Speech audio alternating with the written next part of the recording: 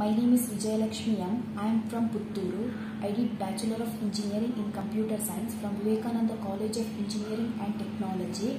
Uh, and I got placed in National Stock Exchange with a package of 7 LPA.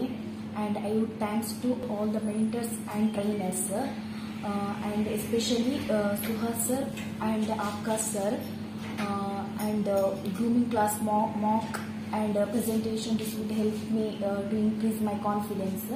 and thank you to all. Thanks for watching this video. Do subscribe our channel and also follow our pages on Instagram, Facebook, and also Twitter. Thank you.